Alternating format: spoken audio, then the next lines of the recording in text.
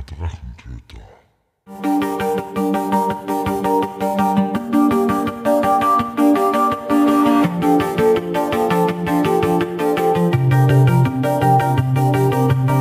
Hallo und willkommen zu einer neuen Episode des Drachentöter Podcast.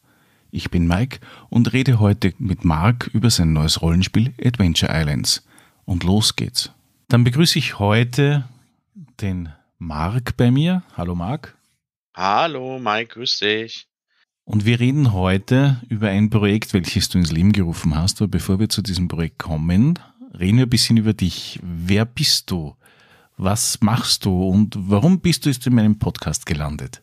Ja, hallo erstmal. Ähm, vielen Dank für die Einladung zu diesem netten Podcast. Das freut mich auch sehr, dass ich hier heute teilnehmen kann und mit dir über Adventure Islands sprechen kann. Aber zuerst einmal zu mir. Ich bin Marc Jansen, 37 Jahre alt, wohne im schönen Niederrhein in NRW, Deutschland und bin mittlerweile ja mehr als 25 Jahre in der äh, Rollenspielszene tätig. Ähm, die meiste Zeit davon auch als Spielleiter und äh, Spieler kommt halt eher seltener vor habe eine Tochter, die so langsam in die Pubertät kommt und wenn alles gut geht, im November, Anfang November, bekomme ich noch einen Sohn. Hm, gratuliere. Soweit erstmal zu mir. Ja, danke schön. Freue mich auch sehr drauf. Ne? Also Adventure Island 2 und 3 ist unterwegs. Ja, genau. die nachfolgende Generation. Ja, meine Tochter ist noch nicht so ganz äh, auf den Rollenspieltrichter. Also ein paar Sachen spielt sie schon. Zum Beispiel So nicht Schurke spielt sie ganz gerne. Aber ja, die Generation heute, die hat auch gerne nochmal so andere Interessen, ne? Vorzugsweise elektronische. Das kann ich nur bestätigen aus meinem Umfeld dass alles, was sich bewegt und alles, was blitzt und blinkt und äh, Sounds macht, äh, natürlich bei Kindern und speziell auch kleineren Kindern sehr gut ankommt. Ja, ja. Also meine Tochter wusste halt schon mit drei Jahren, wie man bei Apps irgendwie weiterwischt und wie so ein Smartphone zu bedienen ist, wo ich mir halt denke, ja, das muss sehr intuitiv sein, wenn so ein kleiner Stöpsel das hinkriegt, ohne dass man ihm das zeigt, ne? Das stimmt. Aber kommen wir nochmal auf dich zurück. Du sagst, du bist seit äh, vielen, vielen Jahren in der Rollenspielszene aktiv als Spieler bzw. Spielleiter. Wie war der erste Kontakt dazu? Wie bist du dazu gekommen? Was war so das erste, der erste Moment, wo du gesagt hast, okay, jawohl, das ist das meine. Ja, also angefangen habe ich äh, so mit etwa zehn Jahren. Damals mit ähm, Das Schwarze Auge, dritte Edition muss das gewesen sein. Es war so 96 ähm, wo wir mit Rollenspiele angefangen haben. Der Spielleiter, den wir hatten, der war ein paar Jahre älter, der war so 13, 14 damals. Und wir waren halt so alle so 9, 10, 11 als Spieler. Und das waren so meine ersten Berührungspunkte mit äh, Pen and Paper. Ne? Also es fing mit DSA an. Äh, ganz klassisch. Es war halt auch ja damals schon äh, eins der bekanntesten Rollenspiele in Deutschland. Und Fantasy hat mich halt auch schon immer gepackt, also auch schon als, als kleiner Junge. Und ja, einmal mit dem Hobby angefangen, nie wieder aufgehört. So lief das Ganze eigentlich ab. Also es gab zwischendurch tatsächlich mal so ein, ja, ein Jahr mal Pause. Es war dann halt auch die Zeit, wo man halt, äh, ich sag mal, die Mädchen kennengelernt hat, ne, die, die äh, pubertäre Phase, da äh, ist dann mal auch das äh, Pen and Paper Hobby ein bisschen nach hinten gerückt, aber nie so ganz verschwunden. Also man hat immer noch, weiß ich nicht, mal versucht eine, eine Runde oder so noch mitzunehmen. Oder auf Conventions äh, war ich auch jahrelang immer unterwegs, äh, sehr, sehr intensiv und ja, deswegen kann man eigentlich sagen, durchgehend bis heute bin ich dem Pen and Paper treu geblieben. Bist du bei DSA geblieben oder hast du dir noch andere angesehen bzw. durchprobiert und für gut befunden? Also ja, ich spiele auch heute noch DSA. Tatsächlich auch ähm, die fünfte Edition äh, haben wir mit meiner Gruppe, also mit meiner engsten Gruppe, mit der ich halt schon sehr, sehr, sehr viele Jahre jetzt zusammenspiele, ähm, spielen wir halt, ich sag mal, unregelmäßig DSA 5. Äh, ich habe aber auch sehr lange Zeit ähm, Shadowrun immer schon gespielt, also von der dritten Edition an äh, äh spiele ich Shadowrun jetzt da auch mittlerweile bei der äh, Version 6, äh, die ja relativ äh, umstritten in der Spielergemeinschaft äh, ist, aber tatsächlich gefällt sie mir und der Gruppe, mit der ich spiele, ganz gut. Und da haben wir tatsächlich auch jetzt immer noch monatlich eine äh, ne, ne äh, Runde, also eine, eine Runde auch am Tisch. Da äh, spielen wir noch Shadowrun. Ich habe früher eine Zeit lang auch Vampire äh, The Masquerade gezockt und Dungeons and Dragons tatsächlich mal ausprobiert, aber ähm, da bin ich nie so wirklich mit warm geworden. Ja, und ansonsten, ja, auch so mal kleinere, äh, wie zum Beispiel Finsterland, ähm, Siebte See haben wir auch zwischendurch mal gespielt, aber auch da wurde ich äh, nie so, so ganz mit warm, obwohl es eigentlich vom Genre her sehr zu meinen Vorlieben halt passt. Ähm, aber ansonsten bin ich da immer sehr offen gewesen für, für neue Spiele. Bin halt auch ein, äh, also ein PC-Nerd ein bisschen, äh, zocke auch da viel, viele Rollenspiele, aber auch äh, Strategie-Aufbauspiele. Also ich bin da sehr breit gefächert. Strategieaufbauspiele, was zum Beispiel?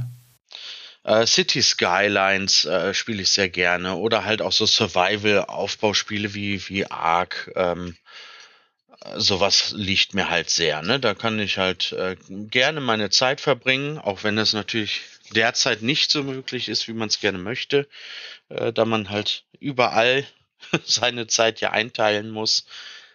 Das mit D&D, also DSA, D&D, kann ich dir ein bisschen nachfüllen. So geht es mir genauso. Also ich, ja, ich kenne D&D, ja, ich habe D&D gespielt. Ist nicht so meins. Es springt der Funke irgendwie nicht über bei mir. Nee, das ist auch, jeder hat ja so seine Vorlieben, gerade bei den Regeln. Äh, der eine mag es halt sehr detailliert, der andere möchte halt ein sehr, sehr einfaches Regelwerk. Äh, der eine ist ja auch, dem ist dran gelegen, halt, ich sag mal, eine fortlaufende Story zu haben. Der andere möchte gerne nur One-Shots spielen. Ähm, da muss man halt für sich einfach so finden, was einem am meisten liegt. Und das war bei die und die bei mir nicht so gegeben. Apropos One-Shots, äh, mir fehlt jetzt gerade ein großes System, das du nicht genannt hast. Äh, Cthulhu hast du nie gespielt oder?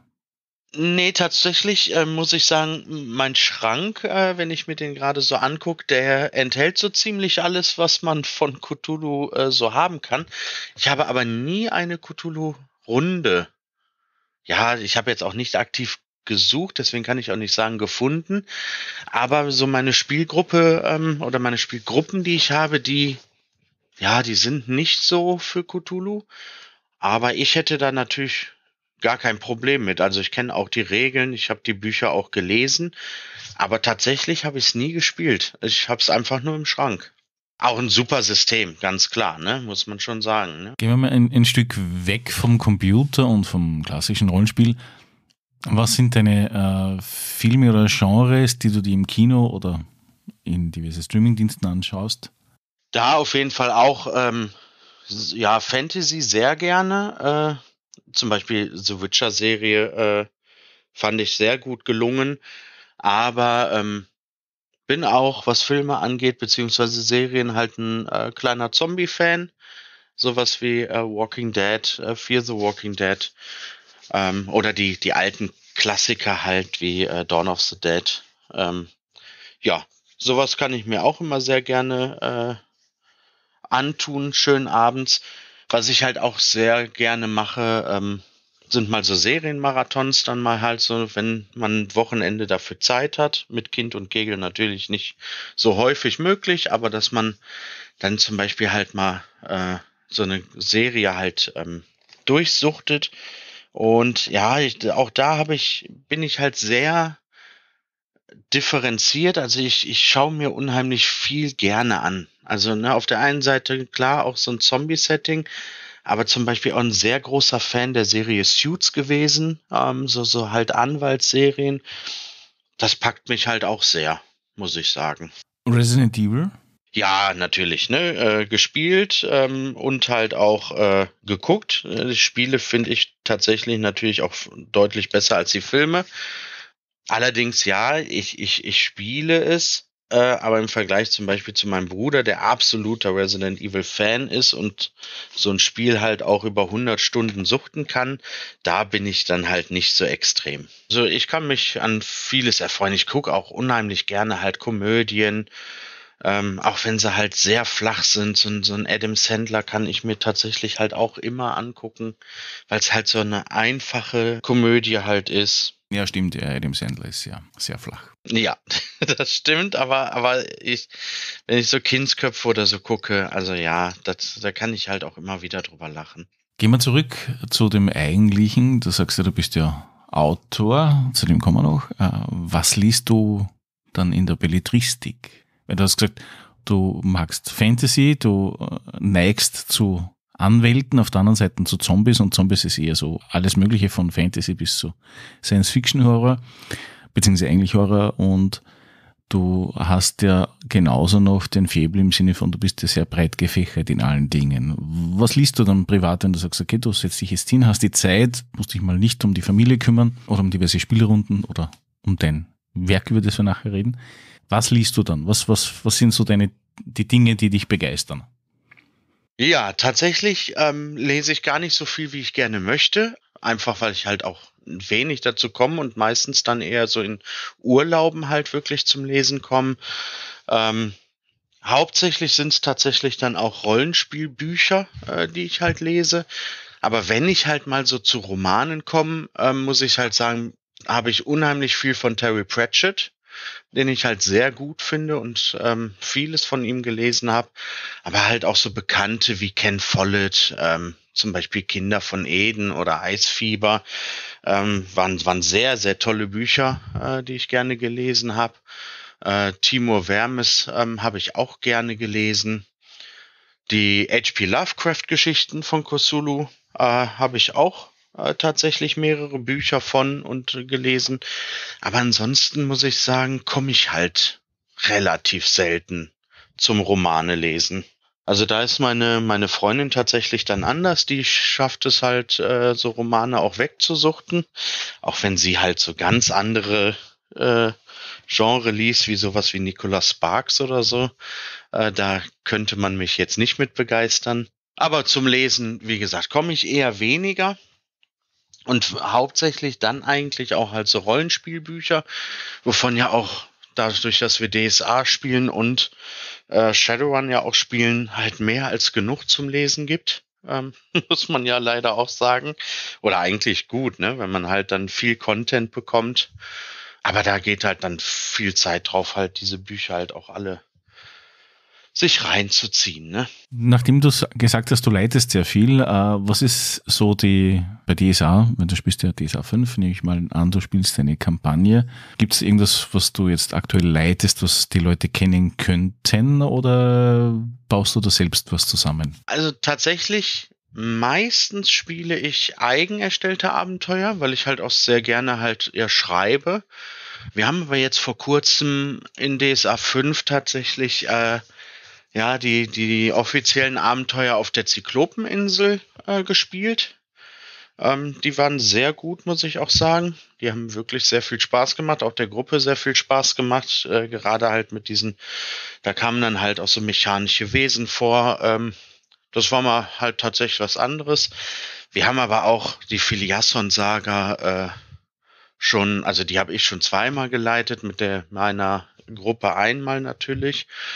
Ähm, wo wir uns halt immer noch nicht so richtig rangetraut haben, ist die G7-Kampagne, die haben wir. Da steckt halt sehr, sehr viel Arbeit drin, die halt äh, zu leiten und äh, die Spieler ja, haben da auch ein bisschen Sorge um ihre Charaktere.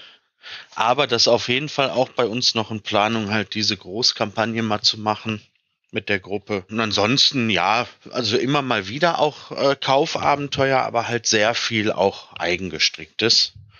Ähm, da habe ich halt auch die nötige Fantasie halt für und die nötigen Ideen, um da was Schönes äh, den Jungs zu präsentieren, mit denen ich das zocke. Ja, und halt jetzt dann, wir spielen natürlich ja auch viel Adventure Islands äh, seit ähm, ja einem guten Jahr jetzt.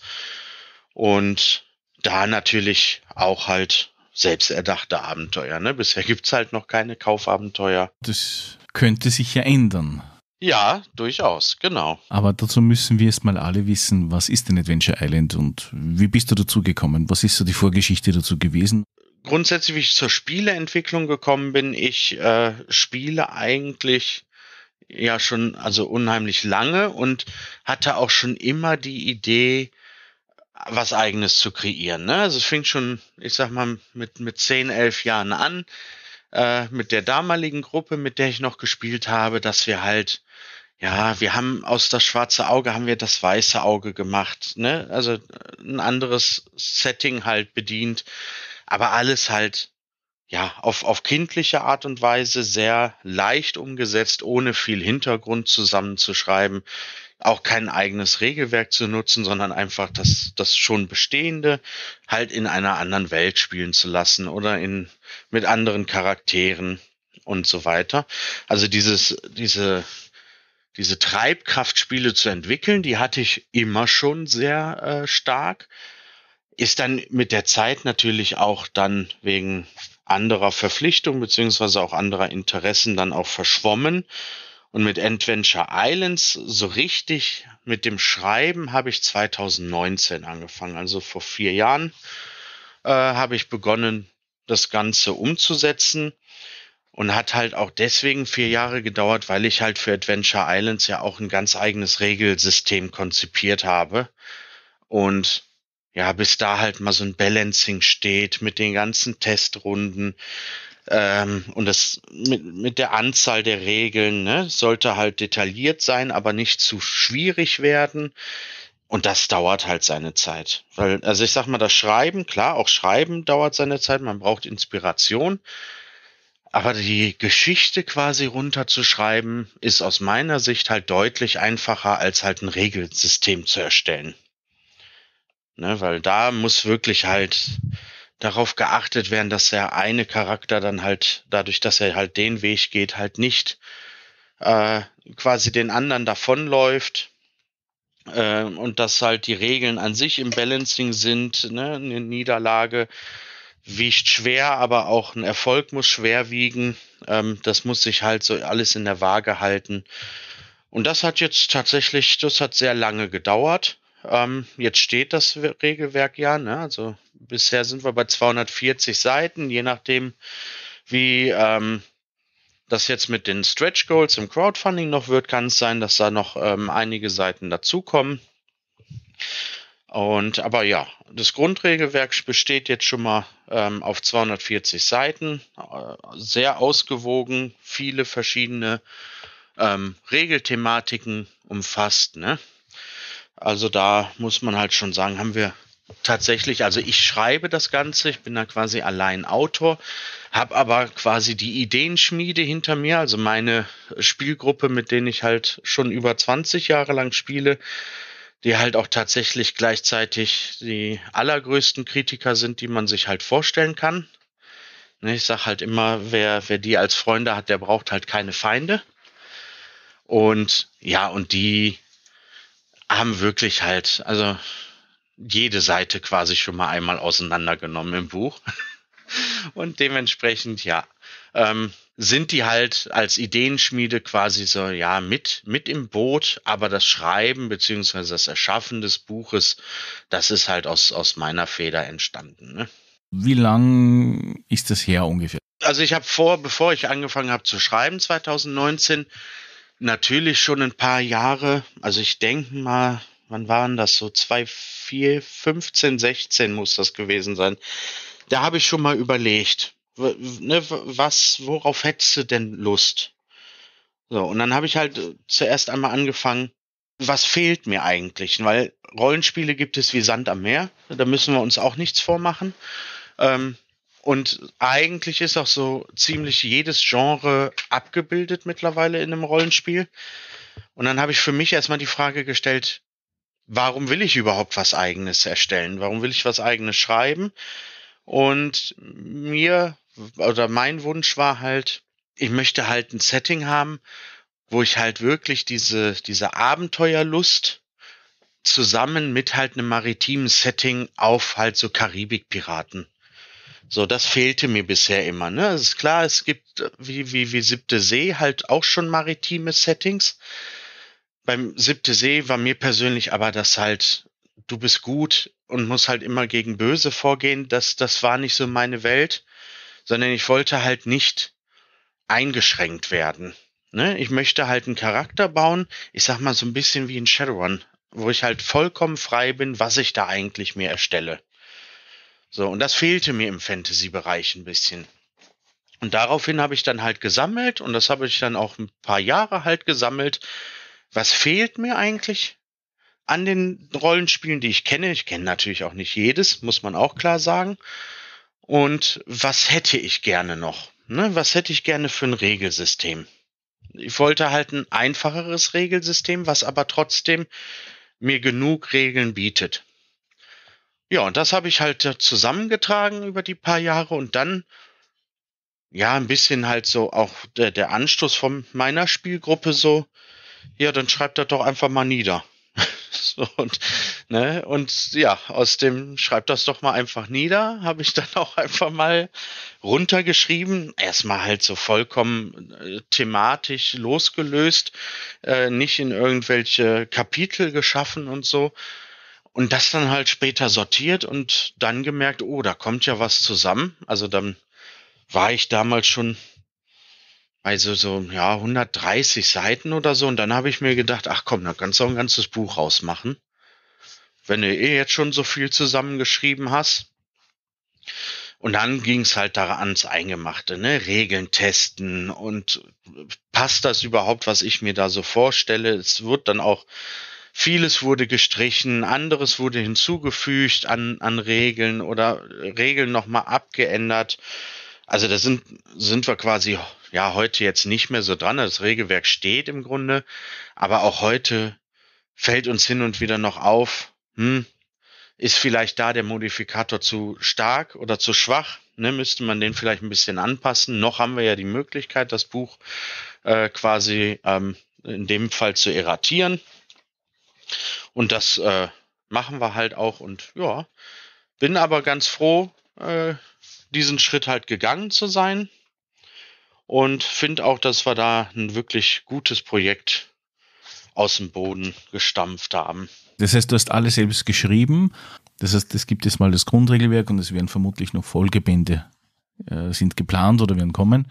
Das heißt, du hast alles selbst geschrieben, äh, gelayoutet, äh, gezeichnet und so weiter oder?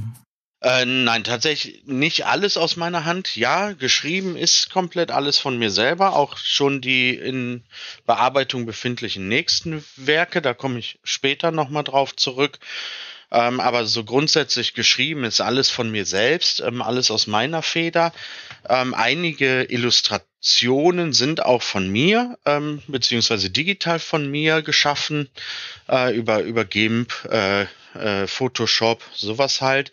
Aber ähm, natürlich habe ich auch viele externe äh, Künstler, wie zum Beispiel das Cover, das ist äh, von Faitiane aus äh, Berlin gemalt. Ähm, die, die Rahmenillustrationen und auch die Karte der Spielwelt, also das, das Commonwealth, ähm, sind von Ink Compass äh, in Italien erstellt worden. Und ähm, dann habe ich noch halt über zum Beispiel Fiverr äh, digitale Künstler oder beziehungsweise Künstler auf, aus digitalen Produktionen ähm, quasi ja gemietet beziehungsweise angeheuert für mich halt zu malen. Weil natürlich, wir wissen halt alle, so ein, so ein Pen-and-Paper-Rollenspiel lebt halt auch von den Illustrationen. Ne? Es muss schön aussehen, es muss was hermachen. Es steht später halt auch im Schrank und da soll es halt auch gut aussehen. Und wenn man halt auch drin rumblättert, ähm, dann, dann ja, macht's direkt was her, wenn man halt auch zu dem passenden Thema, was man sich da gerade durchliest, halt auch ein schönes Bild halt so hat. Ja, also da, klar, muss ich halt, da, dafür bin ich viel zu unkreativ, äh, was künstlerische Tätigkeiten angeht, als dass ich alles selber zeichnen könnte. Ähm, aber ansonsten vom Text her oder von den Themen, die im Buch geschrieben werden, das kommt alles tatsächlich aus meiner Feder. Ne, es kann natürlich sein, wenn jetzt alles gut läuft, ähm, dass wir mit mehreren Autoren dran schreiben, gerade in den Folgebänden äh, kann ich mir das gut vorstellen. Äh, jetzt bin ich ja gerade auch noch dran, den Artenkodex sch zu schreiben. Da haben wir mittlerweile auch schon gut 160 Seiten.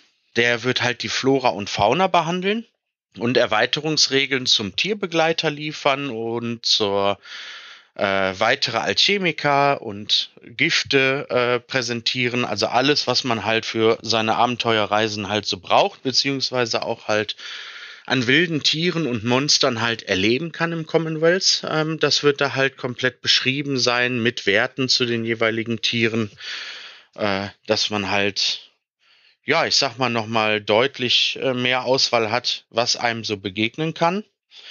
Der wird dann voraussichtlich, wenn alles klappt, im Sommer 24 erscheinen. Als äh, danach als äh, nächstes kommt halt der Gaia-Kodex. Das wird quasi eine Art Kompendiumsband. Da wird es äh, zu weiteren Themen, wie zum Beispiel zur Seefahrt, noch Erweiterungsregeln geben. Neue Spezies wollen wir einführen und neue Fraktionen. Also Fraktionen sind quasi so ein bisschen die Kultur äh, oder die Kulturen im Commonwealth, ähm, die halt ja, manche sind verfreundet, manche sind eher äh, verfeindet zueinander. Und äh, dazu bringen wir dann halt noch ein Buch raus äh, für Anfang 25 geplant. Äh, und dazwischen halt noch zwei Abenteuerbände. Der eine, wenn alles klappt, wird der mit dem Crowdfunding halt veröffentlicht im Januar äh, kommenden Jahres. Äh, auf den Spuren der Diliano heißt er. Ein dreiteiliger Abenteuerband, also eine, ich sag mal, eine Kurzkampagne wird's werden.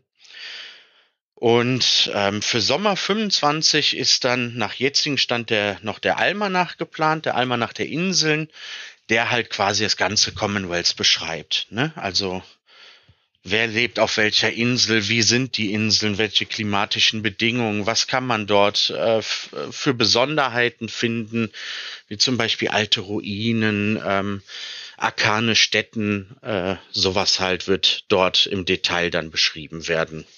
Also die Roadmap ist ja schon ganz schön durchgeplant für das, dass du das ja eigentlich alleine machst, wenn du das richtig verstehst. Ja, ja, aber ich schreibe halt auch ganz, ganz gut und fleißig. Also auch jetzt immer halt noch, während das Crowdfunding ja läuft, schreibe ich ja schon weiter an den nächsten äh, Teilen. Und man muss jetzt auch sagen, ich habe jetzt äh, die letzten Jahre, wo ich an dem Abenteuerkodex geschrieben habe, also an dem Grundregelwerk, zeitgleich auch immer schon Themen gesammelt, beziehungsweise auch schon Texte in den nächsten Büchern geschrieben.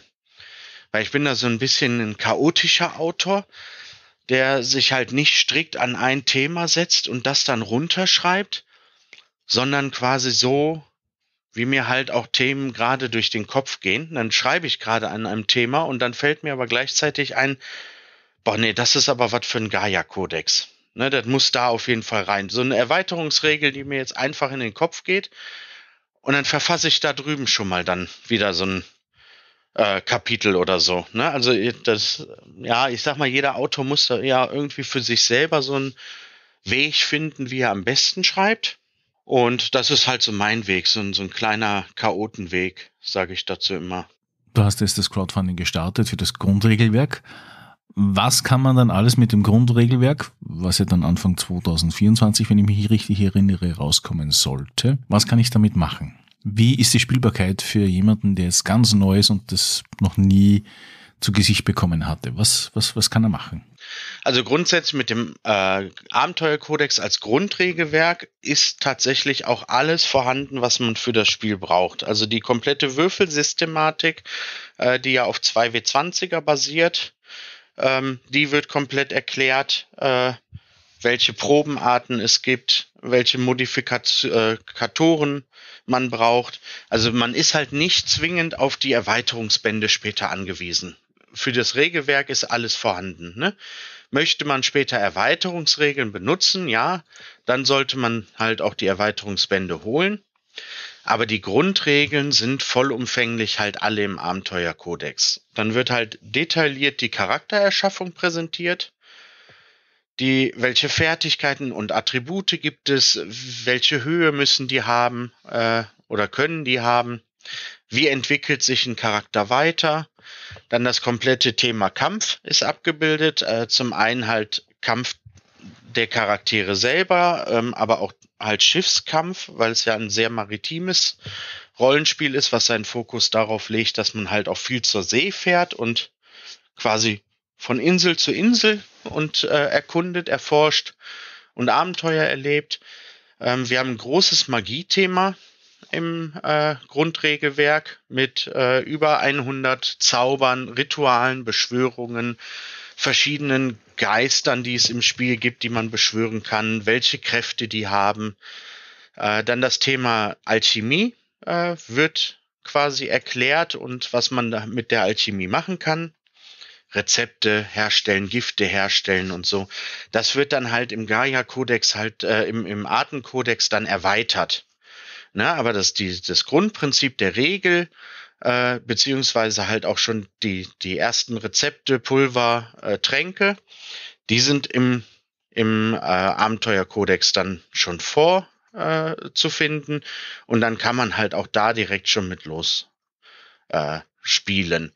Wir haben eine große Waffen- und Ausrüstungsauswahl äh, im Abenteuerkodex.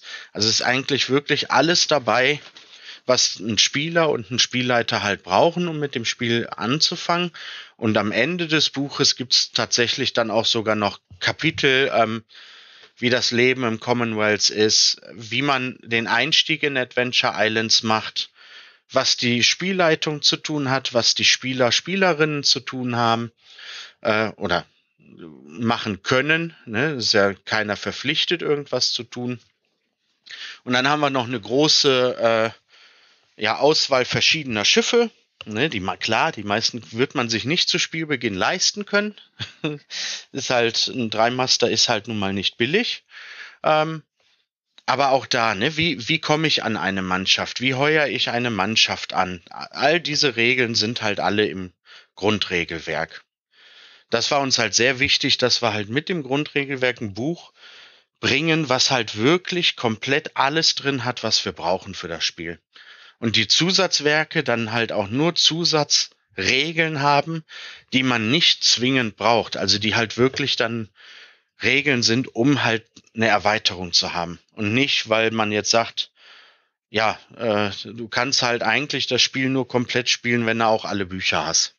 Das heißt, das fokussiert dir genauso, damit auch ein Unbedarfter sehr schnell sagen kann, okay, gut, das wäre so ein passendes Abenteuer oder würde in diese Richtung gehen, die ich spielen leiten kann. Genau, nee, da haben wir auch ein eigenes Kapitel zu gemacht. Das ist halt in dem Einstieg in Adventure Islands ähm, beschrieben. Zum einen beschreiben wir halt ähm, für die Spielleitung halt kurz, was für Abenteuerarten sind möglich. Ne? Das kann eine Expedition sein, das kann ein Stadtabenteuer sein, es kann aber ein Hochseeabenteuer sein oder halt, wir nennen es halt Blick in die Vergangenheit, wenn man zum Beispiel quasi alten Zivilisation auf der Spur ist. Sowas ähm, geben wir dem, dem, den Spielleitungen halt mit. Aber wir geben halt auch ein ganzes Kapitel mit, wie kann man eigene Abenteuer entwickeln. Ne? Also wie fängt man am besten an? Also aus meiner Sicht halt von hinten nach vorne. Und so haben wir das quasi dann auch beschrieben. Also was will ich eigentlich mit dem Abenteuer bezwecken? Was ist das Ziel? Ne, was ist die Wahl der Protagonisten oder wer ist Protagonist? Wie ist der Weg zum Ziel? Ne? Und am Ende halt, was ist der Lohn äh, aus diesem Abenteuer?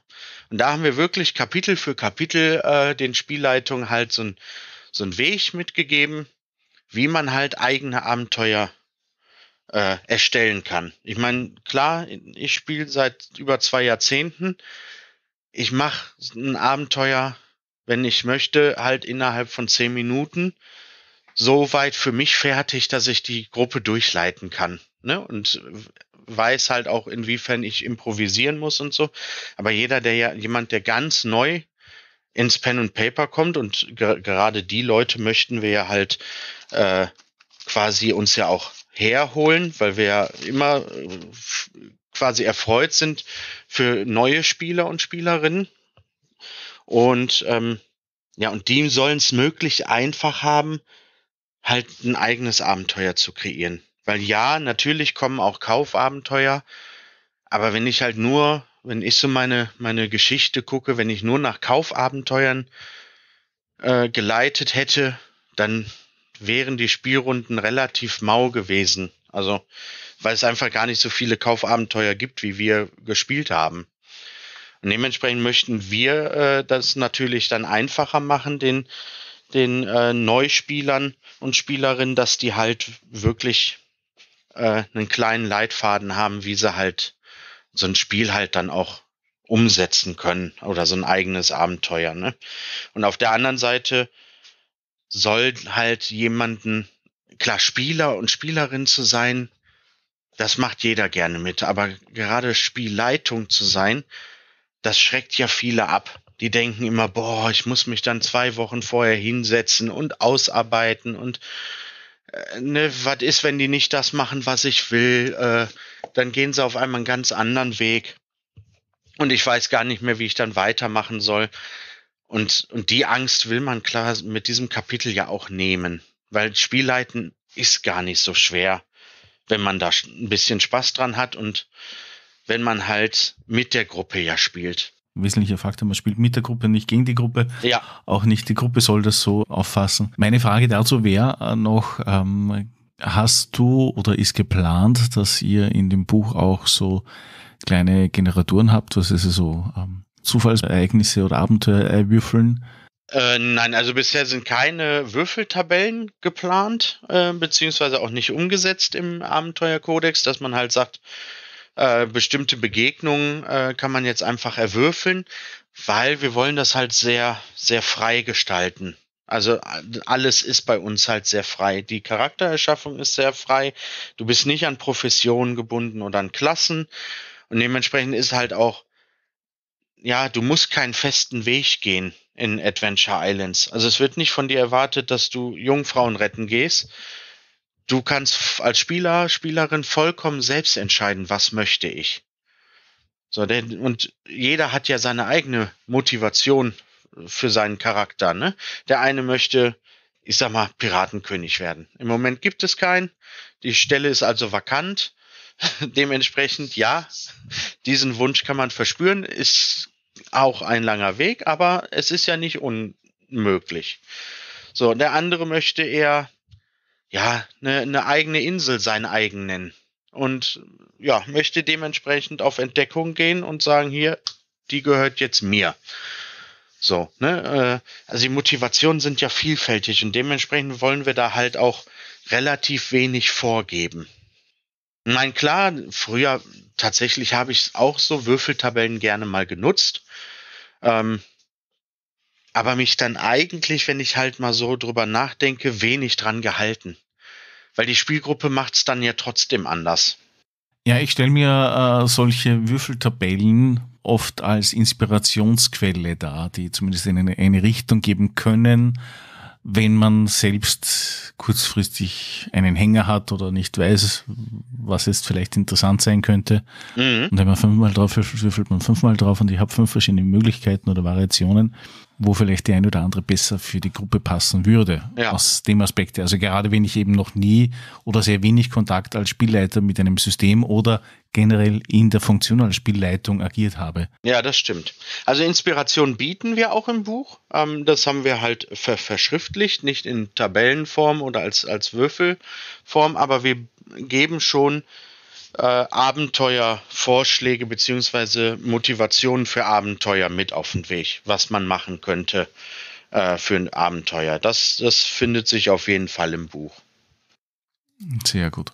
Na, ich finde es sehr wichtig, dass ihr da speziell auf Personen, die da noch nicht so aktiv sind, äh, darauf zugeht und ihnen eine Möglichkeit bietet. Ja. Ja, aus dem Grund glaube ich auch, ähm, dass das äh, Spiel Adventure Islands halt für Neulinge auch sehr gut ist, weil halt auch das Regelsystem ist halt sehr einfach ohne Großrechnerei.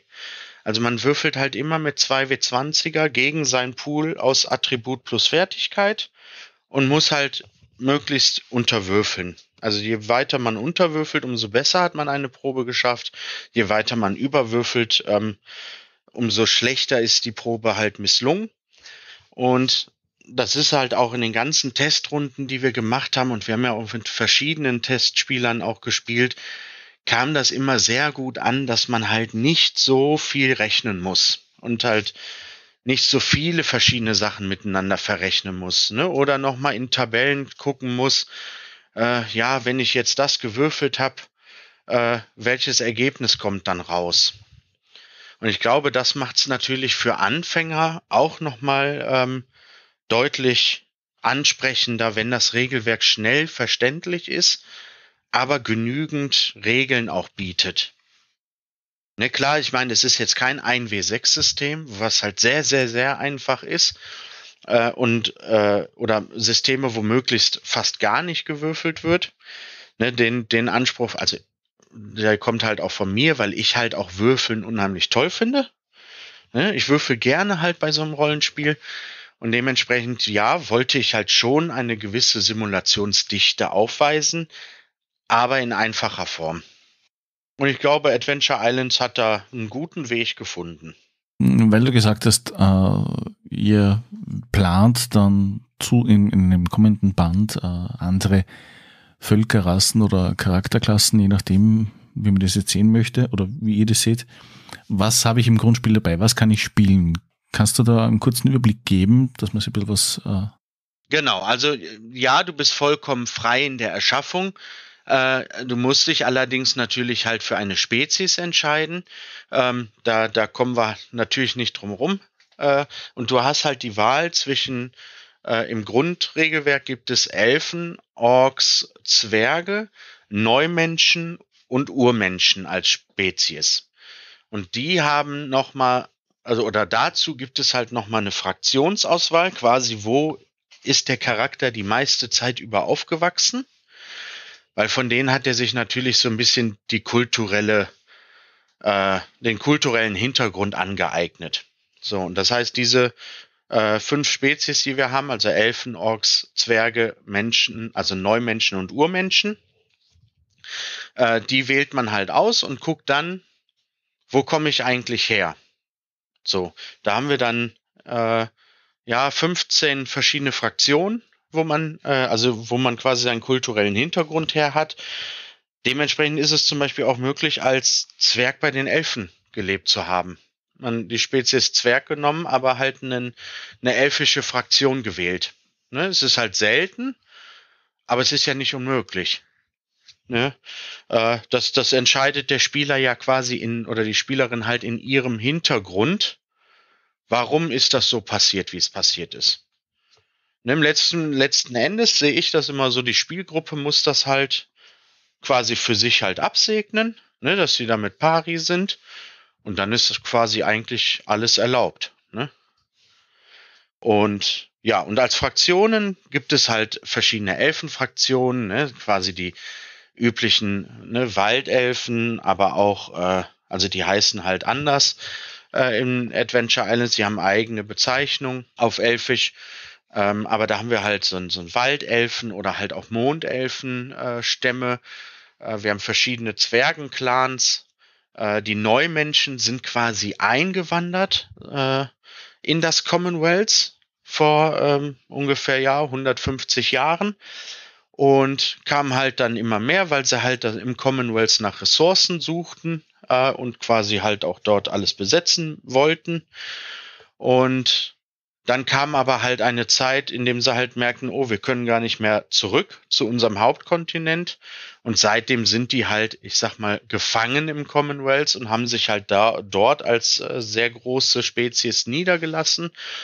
Und die Urmenschen, das sind dann auch verschiedene Fraktionen, ähm, die halt schon viel, viel länger im Commonwealth leben und sehr naturverbunden in der Regel auch leben und dort halt äh, ja mehrere Jahrhunderte schon überdauern. Und oftmals leben halt auch diese Spezies halt zusammen in den Städten. Also ja, es gibt auch äh, Spezies, also die Mondelfen zum Beispiel, die sind sehr strikt und dulden Fremde nicht ganz äh, so gerne. Also da muss schon wirklich was passieren, dass man da leben darf. Aber gerade so die Neumenschen, da leben halt Orks, Zwerge, Menschen, Elfen halt Tür an Tür. Ne, das ist halt im Commonwealth halt ganz normal. Man hat halt keine strikte Spezies-Trennung. Und man muss halt auch sagen, ja, es sind Elfen, Zwerge, wie man sie halt aus allen Fantasy halt so kennt. Das heißt aber nicht, dass in Adventure Islands die Elfen halt so ticken, wie man es von Elfen gewohnt ist. Ne? Also es sind halt nicht die typischen Baumkuschler, sondern ja, auch unter den Elfen gibt es Assassinengilden. So, die, die Lebensweisen äh, im Adventure Islands äh, für die Spezies sind halt schon verschieden. Ne? Also muss man nicht zwangsläufig mit jedem äh, anderen Fantasy vergleichen können. Aber das möchten wir auch gar nicht. Du hast gesagt, es gibt Magie. Mhm. Also ihr habt ja relativ viel in die Richtung. Also gehe ich davon aus, es gibt auch so wie äh, Kleriker oder, oder Priesterklassen wahrscheinlich. Ähm, ja, auch da ist man sehr frei, weil theoretisch jeder Magie wirken kann. Also jeder hat quasi das Potenzial dazu, weil du hast halt nicht nur äh, quasi einen Punktewert für deine Lebenskraft, sondern du hast halt einen Punktewert für deinen Gaia-Vorrat. Also Gaia ist die magische Kraft im Commonwealth, beziehungsweise auf dem ganzen Planeten Galil. Aber die Spielwelt ist ja, ich sag mal, erstmal auf das Commonwealth beschränkt. Ähm, da ist in naher Zukunft natürlich geplant, vielleicht das Ganze auszuweiten, wenn man halt äh, mal verreisen kann vom Commonwealth aus. Aber ähm, zum Thema Magie, grundsätzlich hat halt jede spielbare Spezies hat einen äh, Gaia-Vorrat im Sinne quasi von, das sind die Punkte, die man braucht, um halt einen Zauber zu wirken. Und jeder hat halt die Möglichkeit bei der Charaktererschaffung zu sagen, ja, dann, ne, ich habe einen Zauber gelernt, weil ein Zauber wird halt wie eine Fertigkeit halt betrachtet. Also ich kann halt klettern, ich kann ein Schiff steuern und auf der anderen Seite kann ich den Zauber Heilung. Dementsprechend, ja, ist das meine Fertigkeit, magisch andere zu heilen. So, und da wir halt dieses Konstrukt halt als Fertigkeiten sehen, das ganze magische Konstrukt, ist halt für jeden möglich, Zauber zu erwerben. Ne? Also am, am Anfang wird es halt über Abenteuerpunkte in der Charaktererschaffung dargestellt. Später muss man halt Charakter, also äh, Abenteuerpunkte halt investieren, aber auch ähm, äh, Geld, um quasi die nötigen Lehrmittel zu erwerben. Beispielsweise ein Zauberbuch, aus dem man halt draus äh, den Zauber halt erlernt. Und ja, im Grunde ist, sind wir da, deswegen gehen wir halt nicht nach Klassen oder nach Profession, weil halt jeder kann im Grunde alles werden. Du kannst halt der Kapit Piratenkapitän sein, der noch etliche Kampfzauber in petto hat. Äh, du kannst ein Händler sein, der äh, die Möglichkeit hat, seine Waren, also seine verderblichen Waren halt äh, länger haltbar zu machen durch Zauberei. Und ja, es ist halt auch nichts Ungewöhnliches, dass halt gut betuchte äh, Schiffe der Marine zum Beispiel, dass die halt auch sich den ein oder anderen Magier halten äh, als Position, der halt dann, ja, was weiß ich, den Luftelementar beschwören kann, weil irgendwie Flaute herrscht und kein Wind für die Segel da ist. Ja, und der Luftelementar kann das Ganze halt dann umkehren und dafür sorgen, dass das Schiff weiterfahren kann. Ne? Gibt es irgendwas äh, Mechanisches, so Steampunk-mäßiges oder ist es eher nicht. Im Abenteuerkodex noch nicht so wirklich drin. Also es wird halt Fahrzeuge geben im Sinne von äh, Kutschen. Aber ähm, das wird im Abenteuerkodex halt schon präsentiert, sind die Zwerge halt sehr weit daran, ähm, technischen Fortschritt zu erlangen, indem sie äh, die Kraft Gaia halt mit Mechanik kombinieren wollen. Und da sind halt tatsächlich dann für den äh, für den Gaia-Kodex sind dann tatsächlich Erweiterungen geplant, äh, wie man halt dann auch in die Luft äh, kommt. Quasi nicht nur über das Meer bereist, sondern halt auch Reisen über Luft ermöglicht, weil wir dann auch als äh, eine fliegende Spezies für den Gaia-Kodex in Planung haben. Und dementsprechend dann auch fliegende Fahrzeuge mit reinbringen wollen. Ja, wenn man das ist das Resümee zieht, das heißt, es gibt gerade das Crowdfunding mit dem Grundregelwerk, wo man eigentlich schon alles machen kann. Genau. Es einen Einblick bekommt, was es alles gibt.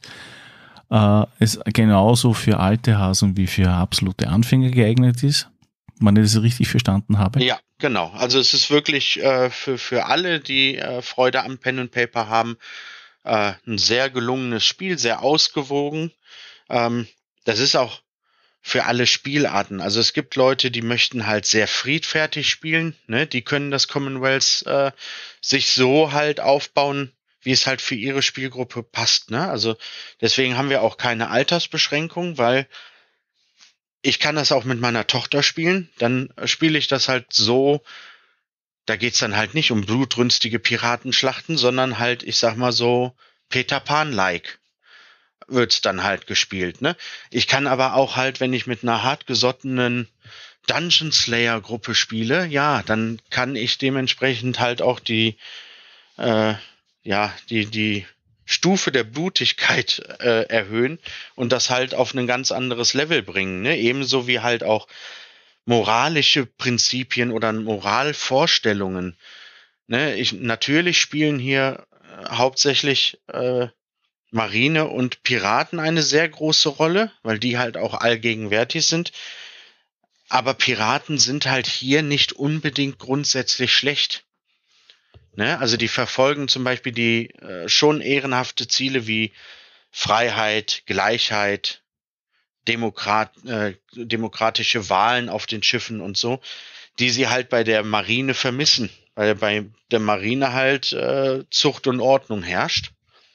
Und natürlich kann ich aber auch einen Piraten halt sehr blutrünstig rüberkommen lassen. Das ist halt, finde ich, das muss jede Spielgruppe halt für sich entscheiden, wie weit sie gehen. Ne? Also wenn ich halt meine Gruppe spiel äh, sehe, mit der ich halt äh, also am meisten spiele, ja, die sind halt auf einem anderen Level. Also die kann man nicht auf alle loslassen. Dafür sind die mir zu böse. Ne, also selbst wenn wir DSA spielen, spielen die halt die Bösen in DSA. So, das ist, äh, das uns macht das halt als Gruppe Spaß. Äh, andere wiederum würden das halt ganz anders sehen und dementsprechend kannst du aber auch in Adventure Islands so spielen, wie es für dich passt. Und ja, ich habe es auch schon mit meiner Tochter gespielt und dann wird halt, ich sag mal, das, das Level halt, das man spielen will, das moralische Level wird halt äh, ganz anders gespielt, als ich das mit meiner eigentlichen Spielgruppe mache. Ne? Ja, und das Crowdfunding, das bietet natürlich halt äh, den, den Abenteuerkodex. Äh, auch in limitierter Form wird es den geben. Äh, in, in, in einem sehr hochqualitativen Kunstledereinband äh, mit Metallecken und äh, besonderem Papier. Ne? Also da, da liegt unser Hauptaugenmerk schon auf eine sehr, sehr hohe Qualität, die wir bieten wollen. Ähm, eigene Würfel werden gemacht, die kann man erwerben. Die Karte gibt es im Moment im DIN A2-Druck. Äh, wir sind jetzt gerade am Testen, den DIN A1-Druck zu ermöglichen, wenn das mit der Datei so passt. Also die Drucke kommen jetzt demnächst. Ähm, dann kann man, dann wird sogar noch ein unheimlich gutes Gimmick geben, dass wir die DIN A1-Karte im Crowdfunding mit zusätzlich äh, reinpacken werden. Und ja, kostenlos im Moment auf Drive-Thru kann man schon ein Einstiegsabenteuer äh, sich runterladen. Und wer halt äh, ein Printmedium im Crowdfunding erwirbt, der kann tatsächlich oder bekommt von uns schon sofort das 189-seitige Beta-Regelwerk. Ähm, das ist aus letzter Stand ist aus dem April äh, diesen Jahres. Und dann kann man schon mal auf knapp 190 Seiten sich in die Les äh, Regeln einlesen oder vielleicht schon die ersten Spielrunden mit seiner Gruppe äh, äh, durchführen. Also das äh, geben wir quasi kostenfrei mit als Dankeschön dafür, dass wir halt unterstützt werden. Und ja, wenn wir das Ziel erreichen, dann kann auf jeden Fall gedruckt werden. Also dann steht dem Ganzen nichts mehr im Wege und können dann tatsächlich auch pünktlich im Januar liefern. Also da geben wir auf jeden Fall auch unser Versprechen, dass, äh, also mit Ausnahme, wenn jetzt, was weiß ich, eine Druckerei niederbrennt oder so, ähm, da sind wir natürlich nicht vorgefeit. Aber aus unserer Sicht äh, haben wir terminlich schon alles so abgesprochen, dass wir tatsächlich pünktlich ausliefern können, weil das Buch steht soweit. Es ist gerade in den letzten Korrekturzügen. Ähm, die gerade noch vorgenommen werden. Das, das machen wir auch über einen externen Dienstleister, das Lektorat. Und ja, das ist aber auch jetzt schon, also 150 Seiten sind schon lektoriert. Dementsprechend werden wir das jetzt, ja, ich sag mal, bis Ende September durchkriegen, das Lek Lektorat. Und dann kann es quasi schon in den Druck gehen. Weil du vorher meintest, es gibt ja schon die Möglichkeit, ein Abenteuer runterzuladen bei DriveThru. Ja. Sind da schon so eine Art Schnellstartregeln dabei oder Kurzerklärungen, welche Regeln da greifen würden und Charaktere? Genau, da sind ähm, fünf Beispielcharaktere dabei, äh, die nach dem offiziellen Regelwerk auch gebaut wurden. Und äh, das ist halt ein Einstiegsabenteuer, was nicht sehr in die Tiefe reingeht, aber dafür halt ähm, wirklich einen Schritt für Schritt anhand quasi eines Live-Beispiels halt durch die Regeln führt. Also dann wird halt wenn es in diesem Einstiegsabenteuer zum Kampf kommt, dann wird halt Schritt für Schritt der Kampf erklärt, wie gehe ich jetzt vor, wer ist wann dran, ne? Dass man halt wirklich, das ist halt wirklich für Anfänger gemacht worden. Klar, jemand, der 20 Jahre Rollenspiele spielt, der wird sagen, pff, das ist aber sehr, sehr einfach. Aber es soll halt für die Leute sein, die halt erstens das Regelwerk noch gar nicht kennen und aber auch Pen and Paper noch sehr wenig kennen, dass die halt wirklich eine kleine Anleitung haben, wie gehe ich in diesem Abenteuer jetzt regeltechnisch vor. Ne, äh, Charakterbögen ähm, gibt es auch schon zum Download auf DriveThru. Äh, da gibt's einmal eine Druckversion, aber auch ein ausfüllbares PDF, äh, so dass man halt äh, digital ähm, den Charakter quasi ausfüllen kann weil das ja heutzutage auch immer beliebter wird, ähm, dass man halt über Discord spielt oder äh, in Verbindung mit Roll, Roll 20 oder äh, Foundry und dementsprechend halt äh, gerne dann halt auch digitale Charakterbögen hat.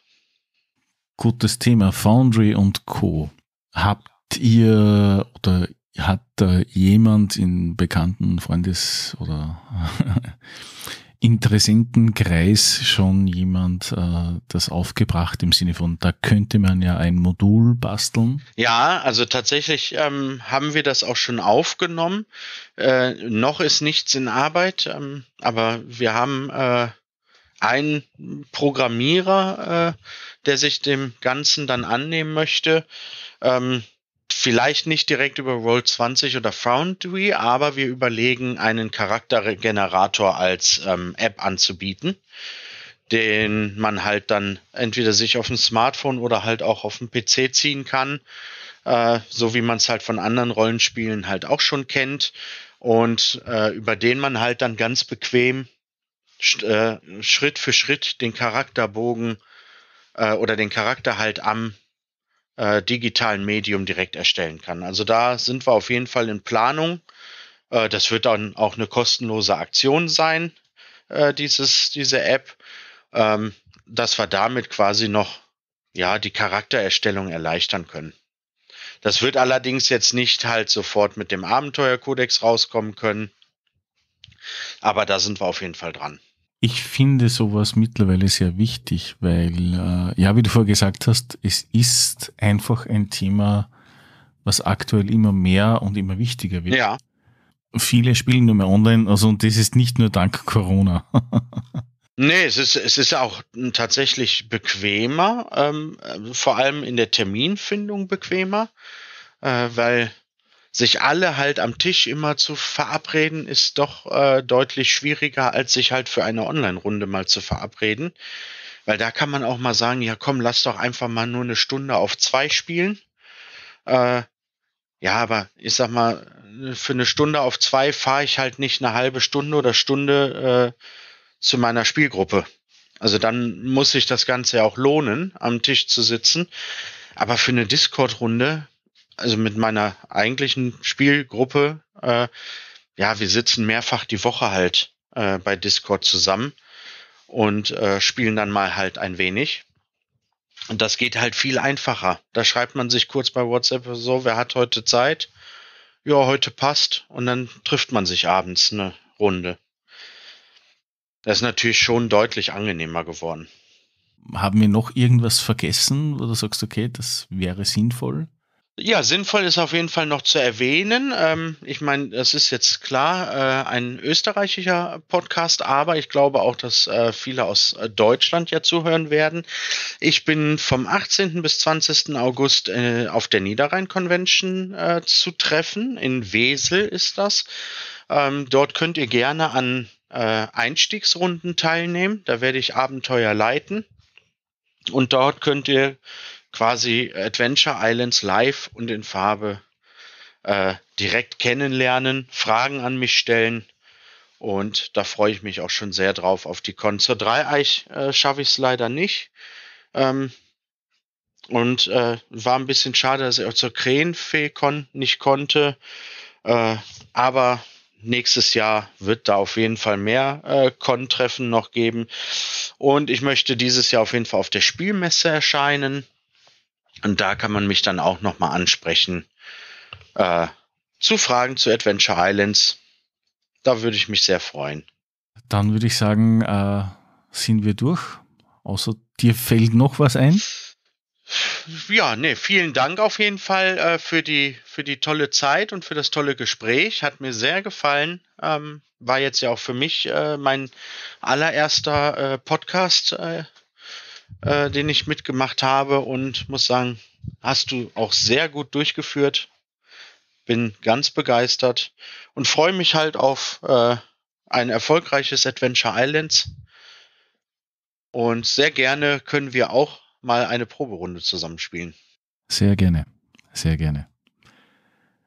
Dann ich danke nochmals, dass du der Einladung so schnell nachgekommen bist. Ja, sehr gerne. Und dann sind wir gespannt, wann denn die ganzen äh, Crowdfundings denn auch ausgeliefert werden. Ja, ja, so schnell wie möglich. Das wollen wir auf jeden Fall garantieren.